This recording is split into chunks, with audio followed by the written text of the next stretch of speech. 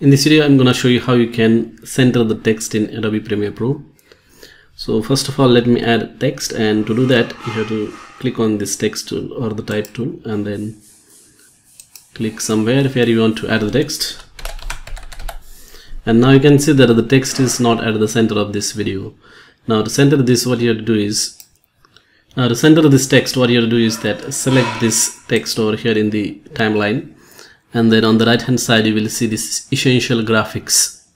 In the edit tab you can see this align and transform section. So just click on these buttons vertical center and horizontal center. That's it. That's how you can center the text in Adobe Premiere Pro. Very simple thing to do. Thanks for watching